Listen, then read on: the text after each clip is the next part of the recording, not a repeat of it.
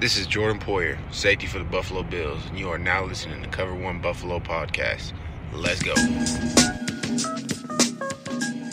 Good evening and welcome to the Cover One Buffalo podcast. You are joining your regular partners in crime, Greg Tompsett, Aaron Quinn. Aaron, how are we doing? I'm all messed up, man. The short weeks got me scrambling around. Uh, we'll talk about it in a little bit, but I'm all messed up. It, it's good to see you, but I feel like I just saw you. Yeah, well, you did. So that that's part of the reason. Um, and tonight we are joined by a special guest that many of you know from his previous travails with ESPN, with the Buffalo News, and now with the Athletic and 1270 The Fan. Our very own Tim Graham. Tim, how are we doing? I'm doing great. Uh, thanks for having me on the show, guys. I've, I've been looking forward to it. No, we, we appreciate it very, very much. Uh, for everybody listening, you know, t- take a listen wherever you're at. Give us a like, give us a rating, give us a review. Tell a friend about what's going on here. Uh, come on o- over and join us at cover1.net and all the things that we have going on there. Uh, the, our favorite part is the the premium subscribers and our uh, Slack channel, being able to listen to everything that we have going on and, and having a little bit of, uh, you know, reprieve from the normal social media mess that's going on here. Uh, but uh, come on in and join us and have some fun. Um, Aaron, how, how, are we doing so far this week? As you, you touched on getting into this weird crunch time frame. Yeah, well, and I wanted to actually kick this off to Tim while we got him on here because I, I'm pretty hard on the media on Twitter. If you follow me, whoever's out there on the media, I give them a hard time. But this week, I feel bad specifically for for all of you guys in the media, Tim. And I know that you've done Thursday the Thursday primetime game. But this week a little bit different with doing Thanksgiving game. I don't know how many in your career part of. I wanted like we getting into that when I was when I break down the things when I get the stats together. How is this mess? What's it like on mind of being a B guy and leaving everything behind eight times a year and, and going and, and, working all over the place? Can you like. Don't cry for me, Western.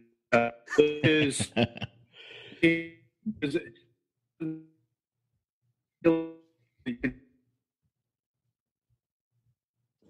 but in any in any format is listening to the media complain about travel about uh, airline delays um, about missing a flight because look nobody's going to be sympathetic towards that nobody feels sorry for reporters and so many people would love to do what we do, uh, to be trapped in an airport, whatever. No, no, everybody just rolls their eyes. So uh, I don't think anybody really uh, gives a damn what uh, how this affects. I mean, just like you guys were saying, it feels like a different day of the week. Uh, I was out at uh, one of those drives in the locker room, and it was from a media standpoint like a Wednesday in terms of getting news conference room um, at the lectern uh, out in the field house where uh, Terrell, uh, uh, Tremaine Edmunds and uh, Josh Allen.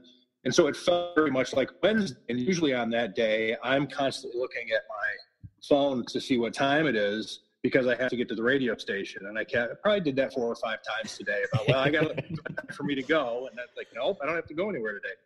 Um, it's, uh, I, I, don't think I've covered a Thanksgiving game before. And the only reason I, I'm not sure is because my three years at ESPN covering the AFC East is a bit of a blur. And I did have to cover, uh, you know, pretty much then, as, as you guys can imagine, I was covering the Jets or the Patriots every week. And I was based in South Florida for part of that. So if the Patriots played on Thanksgiving or the Jets, I'd have to go back and look. Um, but I covered so many Sunday night games, Monday night games.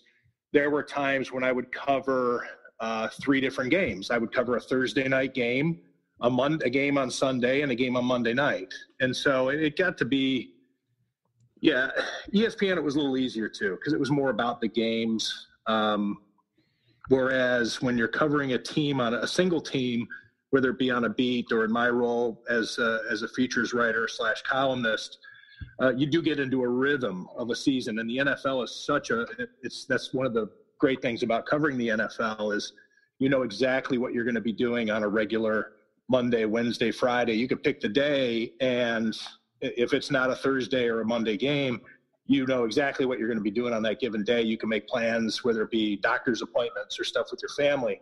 Right. So, um, so yeah, that is so. Th- so this is one one game out of the season where you have to do it a little bit differently, and uh, it'll be fine. Then we get a long weekend. Yeah, a little weird being away from the the family for Thanksgiving for you, or are you guys going to do something uh, kind of down there collectively as the the group of? No, I've never really been a big Thanksgiving guy. It's yeah. my family's pretty close, and Thanksgiving to me was just one more reason to get together. But this time you got to get dressed up. Uh, and no other time do we get dressed up, but this time we're going to get dressed up. And there's just added stress of everything needing to be ready, and you got to yeah. make sure that you bring this and don't forget that. Um, so yeah, to me, it was always just kind of like a disingenuous. Uh, I don't know. It just and, and, the kids never liked it. And I'm talking about when I was a kid or now that I'm a parent. The kids are always a little stressed out and bored, tugging at your shirt. Oh, When's it, when are we going to leave? Or if you're hosting it, when are all these people going to leave? Yeah. Uh, as opposed to Christmas, it's the same crew, but everybody's got something to play with. So, yeah, uh, yeah, it's it's uh, yeah. I'm, a nice little break. I, I just, uh, I can do without it. Yeah. Yeah. Yeah, it's it's funny, you know, being into that rhythm of things. It's funny how often you take things like that for granted, and then all of a sudden the the big moment comes, and you're like, "Oh God, I can't wait for this to be over." we did all this planning and preparation, like, "All right, get out of my house." Everybody out of the house. Yeah. and you know, that's the same sentiment. And here's another one where the fan is gonna is not gonna care because they would love to be able to do this. But uh, every year when it comes around, when again, when I was at ESPN, being a national company, same thing with the Athletic. Um, you know, when you're at the Buffalo News, it's a little bit different. Uh, but there are some when you're at a national company that sends a lot of people to the Super Bowl, you wonder if you're going to be on the team that covers the Super Bowl that year, and um, if your team's not in it, of course. And it's always an honor to be chosen to go. And there are times when it's, you know, hey, you're not going this year because it's so and so's turn. And I feel like, oh, damn it, I, I, wanted to go. But then the years I do get picked, I don't like it. So, because once you've covered a couple of them, and unless it's a great city like New Orleans, uh, but, you know, last year was Atlanta and it was freezing cold. Uh, you know, so, when it was in New York, uh, Minneapolis, uh, and then sometimes you get picked and it's an honor to go, but it is a drag because it's a lot of hard work. It's a lot of sitting on shuttle buses. And, and, and again, this is where nobody wants to hear me bitch, but it's the same sentiment of you, you like the idea of it until you have to do it. And then once you do it, you're like, yeah, let's get this over with. Let's just get me home. Next year, I hope I don't get picked. That's too funny. Now, it, well, I mean, and it kind of goes into our, our next topic here, and that that creature of habit idea, and the fact that you know Bills fans kind of have an, an aura about them that we've we've galvanized ourselves to being the underdog. So many of the stories you always hear about that mentality, the blue collar, the grittiness, all the the cliches, and that part of that's real. Part of that comes from a sense of well, they're never going to talk about us anyway, so I'd rather try to find a way to to weaponize that or to use use that to to be something. And I think Sean McDermott's played into that a bit with the nobody respects us, everybody's you know against us, uh, you know chips on shoulders and everything that goes along there. And that you know I had put something out there this week that got a lot of attention. In that I, I think there's a possibility that this game is one of those games that could genuinely alter national perception in that coming in eight and three every single game Sunday at one o'clock, probably one of the least viewed teams nationally of any team in the league, all of a sudden in Jerry World against America's team, if they somehow were able to pull this off, I don't know how Bills fans would even process the idea of maybe getting recognition nationally. And the, the psyche of Bills fans interests me in how much interaction you get and feedback you get. How do you think it would come across in, in trying to pivot into that mindset? I think uh, Bills fans, more than most, based on my experience covering uh, four different teams over the years and, and having covered the NFL for 15 years or what it's been, uh, Bills fans most crave fault. Just that, or, or, that the Bills fans are any uh, needier or desperate than other fans uh, inherently. But when their team hasn't given them much to be relevant or feel relevant uh, through, then I think it does. It, it's it's fun to be relevant. I mean, just remember. I mean, this is clearly anecdotal, but just remember I don't know what year it was, uh, Kiko Alonso's rookie season, whatever year that was, 2012. What is that? Um, when you had uh, people doing sexual favors in parking lots for Alonso jersey, when you had people uh, filling in Kiko Alonso's name on as the right end. Thanks again, Tim. Just getting back into to what you were talking about and the relevancy of of the team and and kind of the fragile psyche of of Bills fans and and that yearning for validation. Uh, you, I'll, I'll, I'll let you kind of continue on where you were. Yeah, I think that it's uh, it's fun to be relevant, and it's fun to be mentioned on ESPN and NFL Network, and have uh, inside the NFL on Showtime talking about your team, or uh, hearing an analysis from Tony Dungy on the pregame of Sunday Night Football. Uh, it, whether you like him or, or loathe him, uh, Stephen A. Smith uh, putting your team in the top five of his power rankings. yeah, I think Bills fans get a charge out of that uh, because it had it just hasn't been there for so long. It, it's new, it's exciting, it's a breath of fresh air to be considered good again. So I don't I don't buy that Bills fans prefer being the underdog. I think we uh, we as Western New Yorkers and the inferiority complex that you have of not being New York and not being Toronto and all the Rust Belt elements and uh, those things as they're falling by the wayside and and development and uh, jobs and all these different uh, positive things have been happening around Western New York over the past few years, uh, canal side and businesses. And uh, I do think that still it's there's, uh, yeah, it's fun to be the underdog or to uh, embrace it because you really have no choice.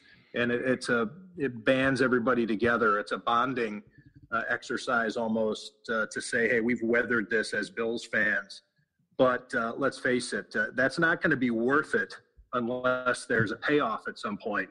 And to get to the payoff uh, before you get to championship or uh, the validation that you're talking about, you need to be relevant. And so relevancy is a great sign that the Bills are heading in the right direction.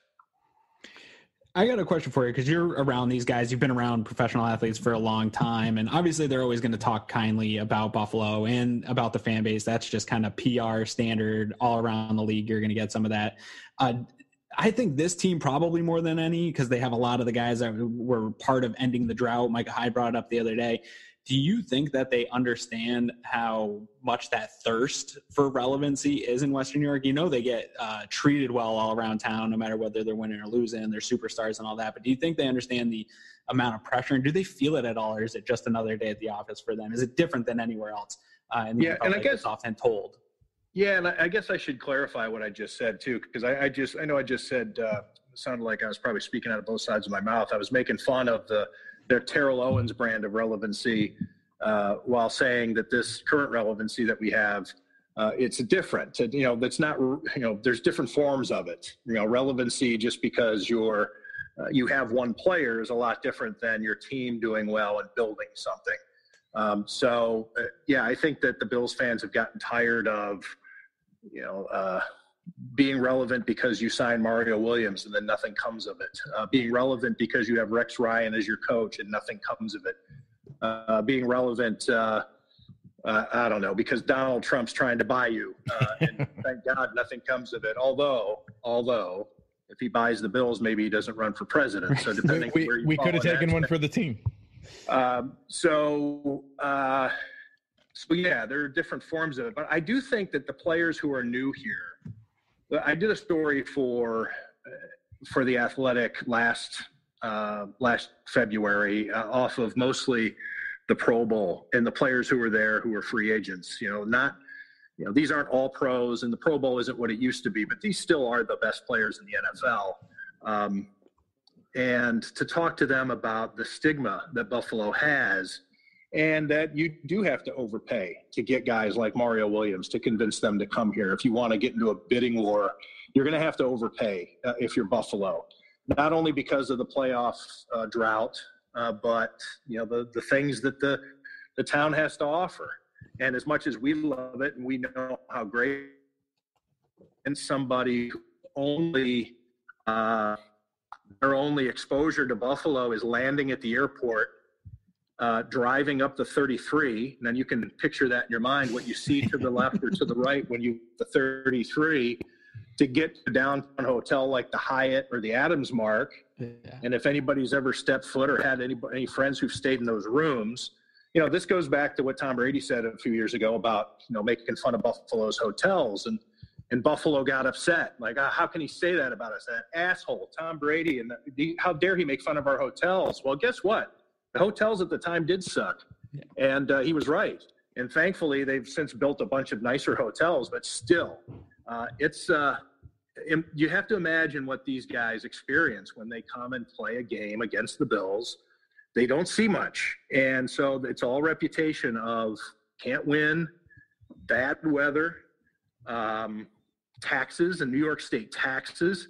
So even the guys who come here, they do know what Buffalo's reputation is. All around the league, everybody know every, every time. All 32 teams have a reputation, and it's not as though the Bills get overlooked by players in the league. So the guys who buy in here, they know what they're coming to, and that's why I think that they exhibit uh, an extra pride in here. Like they, hey, we're here, whether they came via trade or uh, signed as free agents, Sean McDermott has gotten guys who are buying in, and and whether you think it's pandering or not, I happen to a bit of pandering, but Josh Allen says all the right things about Western New York, and that's why so many fans love him about making it a point to say there's only one New York team and talking about uh, you know all the different things that Buffalo has to offer, and uh, you know so it uh, yeah I, I do think that these guys, even the new ones who didn't endure uh, that playoff skid.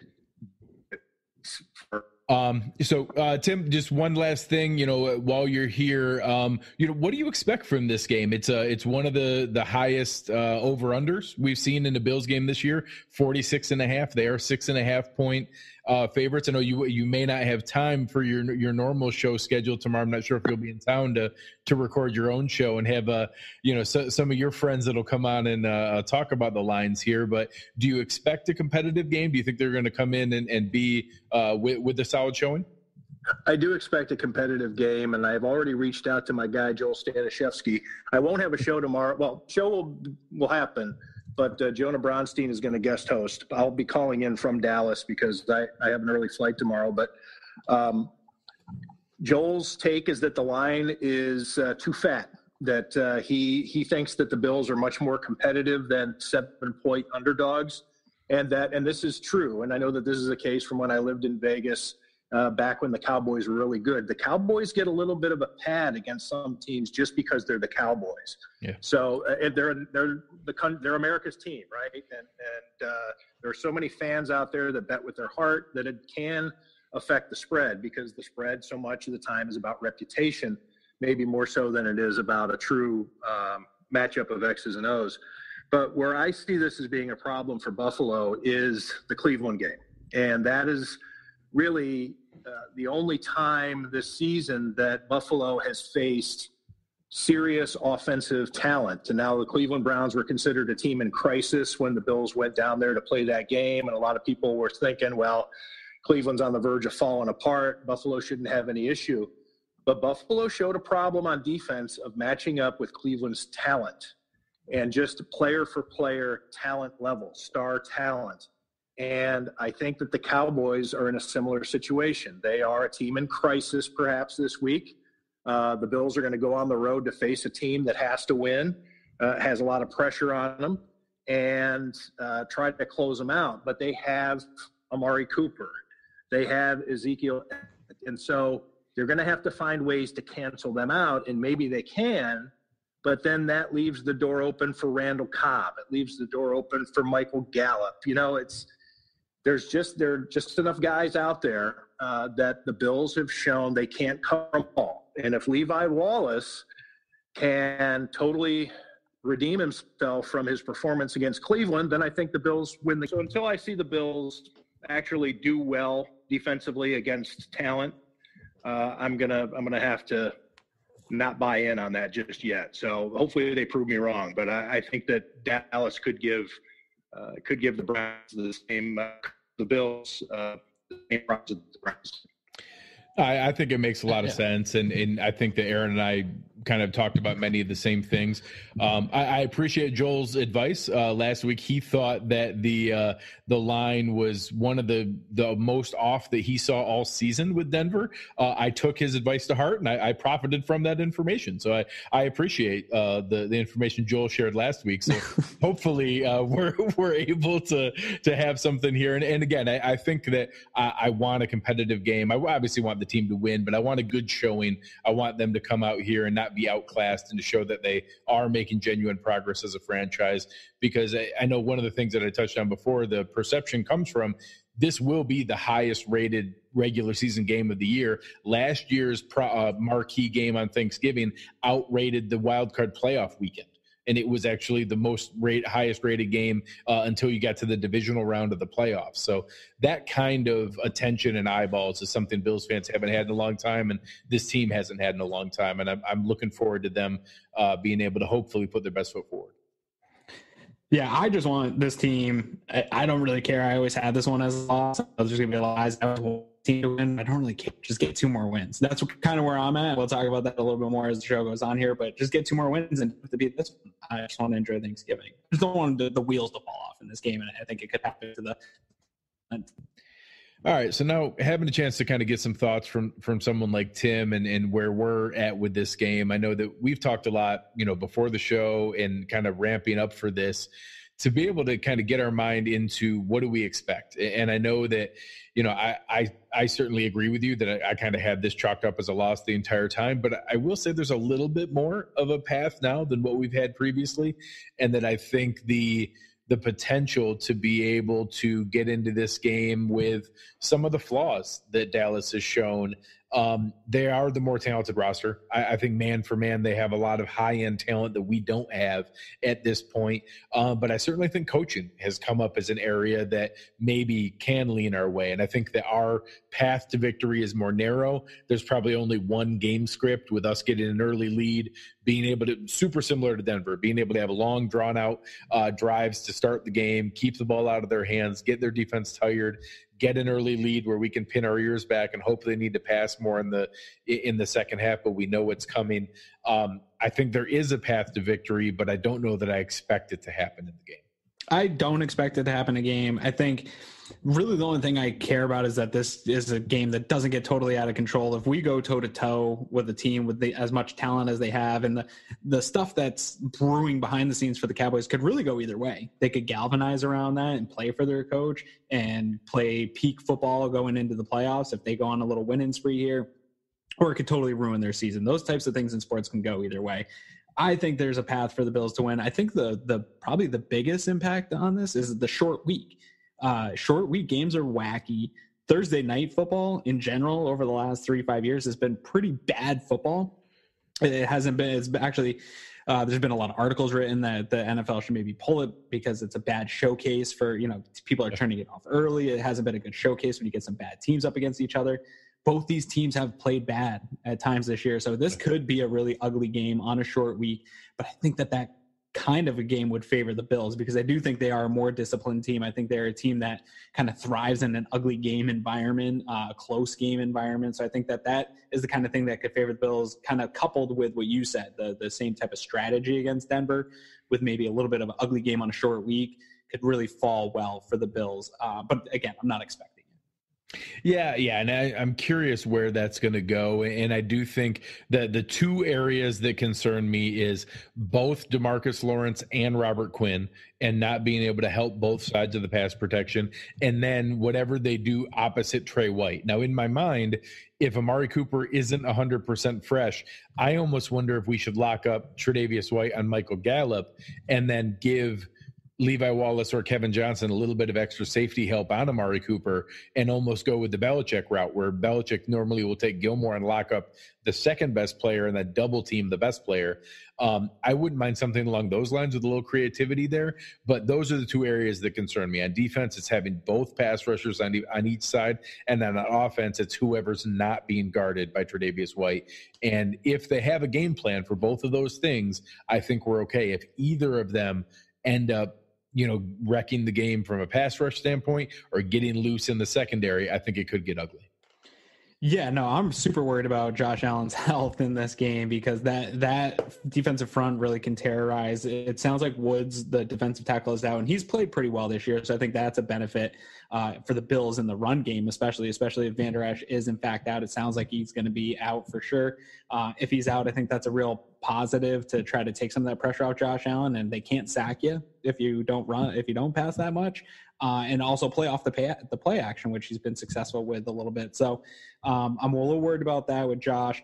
I'm not as worried about their pass game. I think that's the strength of the Bills' defense. I, I, I think guys will make some plays. We're not going to shut them out. They're going to score points. I like the ability of Taron Johnson with Randall Cobb. I, I think that he Randall Cobb has been a nice weapon for Dak Prescott at times this year. I, I feel pretty confident in that matchup. I feel great with Trey and Amari. Amari's probably going to get some catches. He might even get a touchdown, but I think Trey's going to do a good job on it. He's not going to blow the game apart. Uh, Gallup concerns me, but like you said, I think there's some things you can do. I don't know that there's a plan to stop Ezekiel Elliott. Uh, it looks like they're banged up a little bit along the, the their offensive line, so that may help us a little bit. But I don't think the Bills have fixed the run defense just because we held Denver to a, a small amount of total rushing yards, and you yeah. won that bet.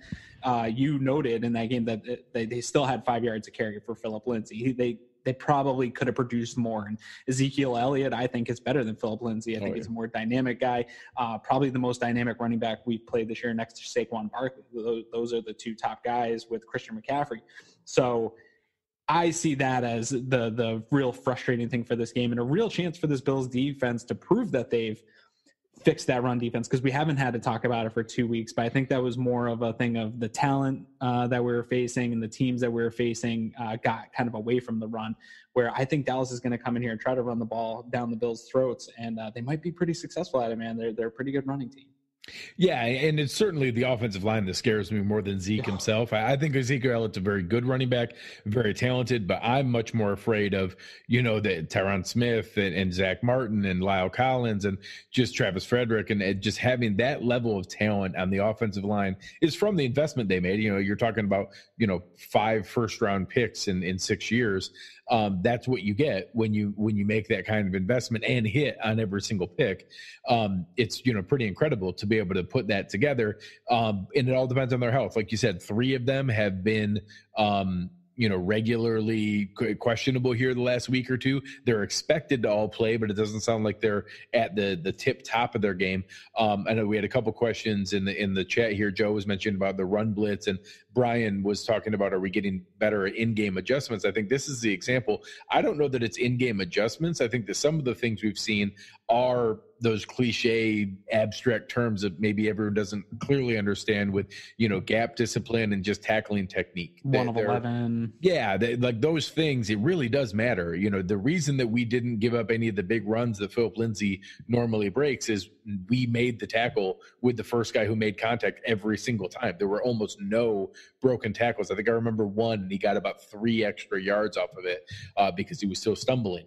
Um, and the same thing miami obviously they just didn't have the talent to do that. But that's really where that's come from. That's harder to do when it's a six foot 230 pound back like ezekiel elliott who's harder to tackle. So if we still have that same gap discipline we're still doing that 111th everybody playing their role not over penetrating not having guys like an ed oliver or jordan phillips get excited and, and open up a gap because you thought you were going to make a play.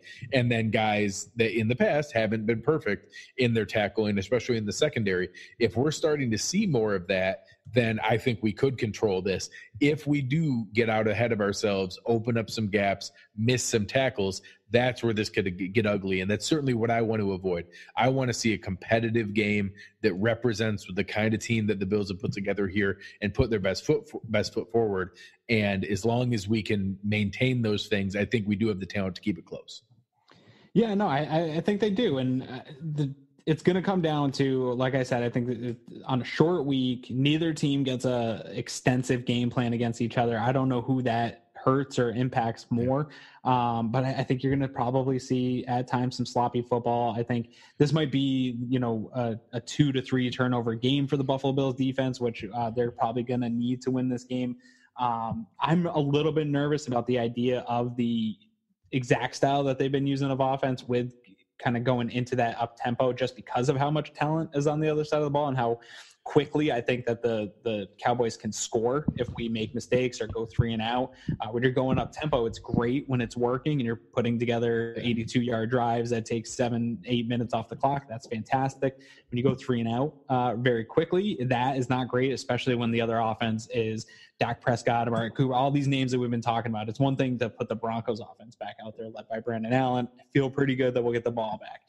Every time you give the Cowboys the ball, they have the chance to score. So I'm a little concerned in that no huddle up tempo. I think they, they got to use it at times. I don't know if that's going to be the primary method to say, hey, we're going to attack this team with that all the time until uh, the lead gets so good that we can pull back like they did last week. I just don't know. They want to put that talent out there quickly um, if it's not clicking. Oh yeah, absolutely. And I don't think there's any any point where we're going to have a lead that feels safe against no. a team like the Cowboys. That they, they are a quick strike team with talent all over the field. We didn't even mention the name Randall Cobb, Jason Witten. You know, uh, Tony Pollard is a really explosive uh, rookie back that's complementing Ezekiel Elliott. They have talent all over the place on this offense. And you know, if we open up a gap anywhere, they can hit quick and be able to score on that. So um, I don't think that we're going to ever get into that that cruising mode that we had with Denver. But I think that that idea, that model of the long sustained drives earlier, then pinning our ears back on defense later, with them getting tired on on uh, defense because of all the snaps and leaning on them with the the offensive line, that is our path to victory. It's just can we execute to be able to make that realistic. So let, us yeah. go ahead. Uh, I go don't through. think so. Yeah, if we want to go right into the predictions from there, I don't know. I don't feel like this week that we can, and I have them predicted at a twenty. I think the I agree with Tim that the line is a little fat. I had it at 24-20 uh, game, and I think that's right around where each team kind of has been scoring uh, for the most part this year. And I think it'll be a close game. I do think the Bills it's kind of similar to the Cleveland game. We'll either have the lead in the fourth quarter or have the chance to take the lead in the fourth quarter. Um, and that, to me, I, outside of a win, is uh, really the most ideal scenario. Is that you're in the game late. It's an entertaining game. You've gone toe to toe with a team with probably superior talent on paper, um, and that proves to me that they can kind of hang with some of these other teams, go toe to toe with the Cowboys, like we or uh, with the Patriots, like we saw the Cowboys do just a week ago. And uh, you you can play with that upper echelon that, of teams that are better than you. Yeah, absolutely, and I think that that's fair. I think that's right in the the model of where where we expect this. Um, I, I'm in the same mindset, and I, I've been torn. I really want to convince myself that you know the the short week benefits us because Sean McDermott's so prepared and we're coming off a game plan that translates really well so you don't need to pivot a ton but there's a part of me that also says when it's a shorter game plan without as much specifics that maybe the talent outweighs more um, and, and, i just I, I think realistically it's something like 27 24 cowboys and that they're they're probably going to be able to pull this out. I think the Bills are going to be in this. I think they have a legitimate chance to win it. Um, I think that if we played 10 times, the Bills probably win four of those, and that there's a chance one of them is on Thursday. Um, I do think the Cowboys are, are, where we're trying to get towards and building that up and, and, adding more elite talent, being able to develop some of the young players we have, start to resend some of those guys, and that maybe we're in a better position for this long term. But right now, I, I do think the Cowboys can still pull this out. Um, and that, you know, it, maybe if it was at home, I, I'd be picking the Bills to be able to do the same you'll be able to convince yourself by Thursday for sure. You're, we're fans, and it's that's one like a little bit of the insight into this. Like we we pick this every week, and I I think I've only picked against the Bills twice. Yeah. Uh, this year doing this, and it's not a homerism. I I really try to look at it objectively, and this week I just couldn't come there, and I, it was kind of the same as you. I'm, as the fan in me, it's like the devil on your shoulder, and then the guy that's got to come on and do the show. And the fan on my shoulder is like, "Come on, come on! It's a short week. We're gonna win. We're gonna, you know, up the score." And it doesn't always work like that. Um, but by Thursday, you will have convinced yourself um, that this is going to be a, a, dominating win and maybe a multiple score win. I promise you. Uh, obviously, uh, that's the only reasonable uh, conclusion here. Um, for to wrap things up here, how about uh, any of our bets that we had open here to to go into the game? well, we had one going into it, and we can make up more as we go here. But we had uh, Devin Singletary had his first hundred yard game last year. It was big news. Uh, we had it everywhere. I believe that I think Devin Singletary is going to follow that up with another hundred yard uh, rushing performance. I think that the opportunity is there. So I'm taking Devin Singletary ninety nine point five yards. I'm taking the over for three points. Uh, I got to build the lead back up on you, man. I know, I know. You let me sneak back into this here. And that's you know, shame on you. You got to keep your your foot on the throat when you got a lead like you had. Um, there was another one that uh, I, I know we had out there with um, that you had put ideas up for uh, Dak Prescott's pass attempts with uh, 36 and a half. which way did you feel on that one? Um, that's a big number, but he's he's gone over it a number of times this year. I'd take the over.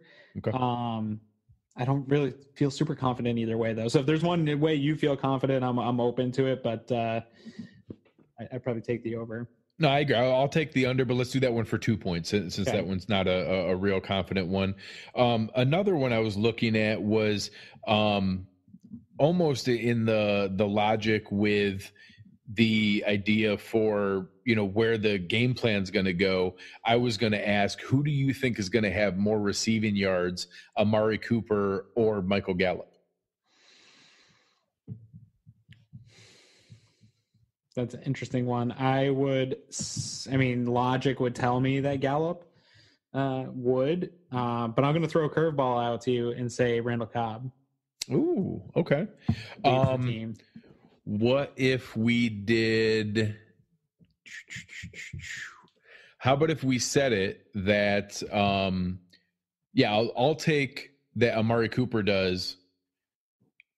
You take that Randall Cobb does, and, and then neither if, of us hit. Then, then hit on your guy. Yeah, if it's Gallup, then it's a push. We'll we'll take that one what again for, for What if it's points. Jason Witten? No, I'm kidding. if Jason Witten leads the Cowboys in receiving, the Bills something's win. gone wrong. Yeah, the Bills win. That's fantastic. Yeah, uh, leading receiver, or how many points we doing that one? Uh, let's do that one for two as well. Yeah. Okay. All right, and then we'll leave one more open um, for the guys that are listening here. Uh, shoot us some ideas. Send us, send them over via uh, the Twitter machine, and we'll we'll come around there. Uh, speaking of which, where can the people find you, Aaron? You can find me at Aaron Quinn seven one six. Uh, just having a lot of fun. This is a fun week for Bills fans. I think everybody's feeling good. There's a lot of positivity on Twitter, so let's try to keep that up. Uh, and and hopefully everybody enjoys their holiday and stays off of Twitter for uh, you know pretty much till kickoff. Yeah, absolutely. And thanks again for our special guest tonight. It was awesome to be able to have somebody on like Tim Graham and, and being able to share, you know, just his insight and everything that he's done covering the team. Um, check him out on Twitter. I'm sure everyone listening here already follows him, but in case you're not, it's by at by Tim Graham, B Y T I M G R A A H A M. Um, obviously, lots of great stuff coming out from the Athletic. If you haven't had a chance yet, they did an awesome oral history on the Snover time game uh, with the Colts that was really, really entertaining, uh, and a bunch of other cool stuff that's come out recently. So make sure to check out his work. You can find me on Twitter at Greg Tompsett, G R E G T O M P S E T T. Make sure to give me a follow. Have a lot of fun here. Really hope that we have a competitive game. Really love to see a Bills win. If we do, man, is that going to be a, lo- a fun long break heading into the Ravens game. So uh, certainly wishing for that. Any final uh, thoughts for the team here, Aaron? Well, actually, I hadn't really even thought about the long break we need to win. I can't do 10 days of fighting with Bills fans about it, them losing that game and the overreaction. So, for my own mental state and sanity, please, football gods, let the Bills win this game so I don't have to deal with 10 uh, day turnaround without a game. Uh, so, I'm, I'm calling in a favor. No, I, I, agree. I agree. We need this, and man, that'll be a fun ten days to bask in that glory. So, yeah.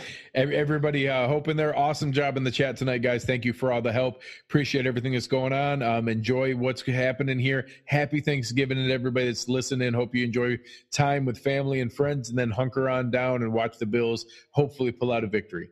You've been listening to Cover One Buffalo, and we are out.